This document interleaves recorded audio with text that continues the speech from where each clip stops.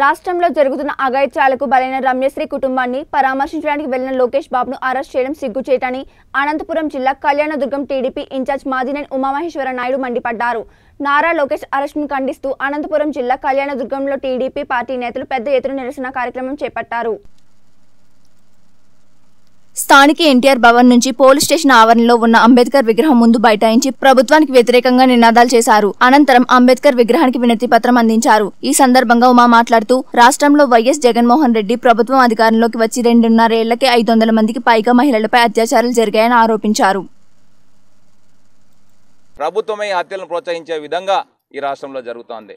అందుకోసం దానికి సంబంధించిన పోలీసులు కూడా నిన్న దళిత మహిళ రమ్య హత్య జరిగితే బాధ్యయుతమైనటువంటి ప్రతిపక్ష పార్టీలో ఉన్నటువంటి మేము చంద్రబాబు నాయుడు గారి ఆదేశాల మేరకు మా ప్ర- పార్టీ ప్రధాన కార్య నారా లోకేష్ గారు కానీ ఆ జిల్లాలో ఉన్నటువంటి నాయకులు కానీ ఆ కుటుంబానికి సంఘీభావం తెలియజేసి మిగిలినటువంటి పిల్లలకు ధైర్యం చెప్పి మేము ఉన్నామని చెప్పడానికి ఆ- ఆ కుటుంబం దగ్గరికి వెళ్తే నిర్దాక్షిణ్యంగా మాజీ మంత్రులను చూడకుండా జిల్లాలో ఉన్నటువంటి ఎస్పీ గారు కాలర్ పట్టుకొని గుంజుకొని పోయినటువంటి సంఘటనను మనం మీడియాలో చూసాం ఈ రాష్ట్ర ఈ రాష్ట్రంలో ఏం జరుగుతోంది? లోకేష్ బాబు గారు ఎందుకు వెళ్ళారు అక్కడికి? హత్య చేసినటువంటి నిందితులను పట్టుకొని కఠినంగా శిక్షించాల్సింది పోయి అక్కడ పరామర్శకు వెళ్ళినటువంటి తెలుగుదేశం పార్టీ నాయకులను లోకేష్ బాబు గారిని అరెస్ట్ చేయడం సిగ్గుచేటి ప్రభుత్వానికి. బాధిత కుటుంబానికి ప్రభుత్వం తరపున కోటి రూపాయలు ఎక్స్గ్రేసియా ప్రకటించాలని చెప్పి తెలుగుదేశం పార్టీ తరపున మేము డిమాండ్ చేస్తున్నాం. ఎందుకంటే ఎలాగో పోయిన అమ్మాయిని తెచ్చి లేని పరిస్థితి.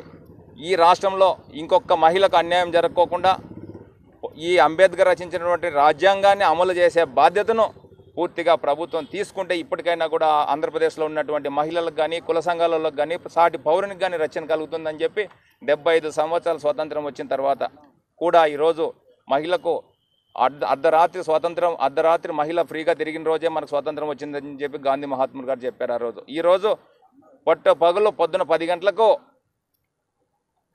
డిస్టిక్ హెడ్ క్వార్టర్లోనే ఈ విధంగా జరిగితే పల్లెల్లో పరిస్థితి ఏ విధంగా ఉంటుంది గ్రామాల్లో పరిస్థితి ఏ విధంగా ఉంటుంది అనేది ఒక్కసారి మీరు ఆలోచించాల్సిన అంశం ఉందని చెప్పి ఈ రాష్ట్రంలో ప్రజలందరూ దీన్ని తీవ్రంగా ఖండించాల్సిన అంశం.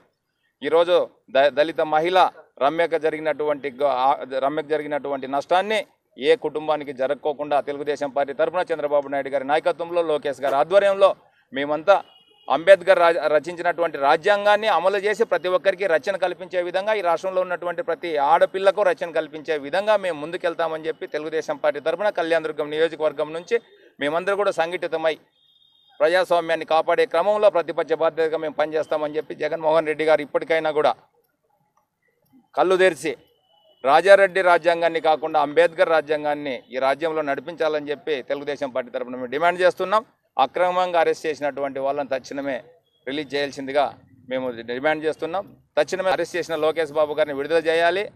ఆ విధంగా విడుదల చేయలే విడుదల చేయకపోతే రాష్ట్ర వ్యాప్తంగా మేము ఉద్యమం చేసి తీవ్రంగా వైఎస్ఆర్సీపీ ప్రభుత్వాన్ని డిమాండ్ చేసి ఇబ్బంది పెట్టే కార్యక్రమం జరుగుతుంది కాబట్టి ఖచ్చితంగా మీరు ఆ విధంగా చేయాలని చెప్పి లోకేష్ బాబు గారిని విడుదల చేయాలి. దళిత మహిళ రమ్య గారి కుటుంబానికి కోటి రూపాయల నష్టపరిహారం ఇవ్వాలి. ఈ రాష్ట్రంలో ప్రజాస్వామ్యాన్ని కాపాడాలి. అంబేద్కర్ రచించిన రాజ్యాంగాన్ని కాపాడాలని చెప్పి మరొకసారి విన్నవిస్తున్నాం.